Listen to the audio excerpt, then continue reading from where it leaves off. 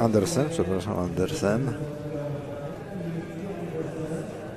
Nazwisko w Danii niezwykle popularne.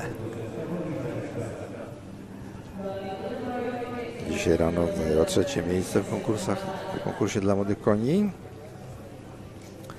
A to jest Twilight, siedmioletnia zaledwie klacz duńskiej hodowli.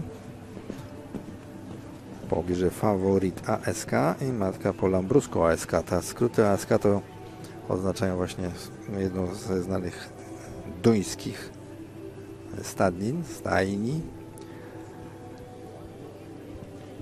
No a faworyt, ojciec tej klaczy, którą oglądamy, to Synogiera Diamond Semi.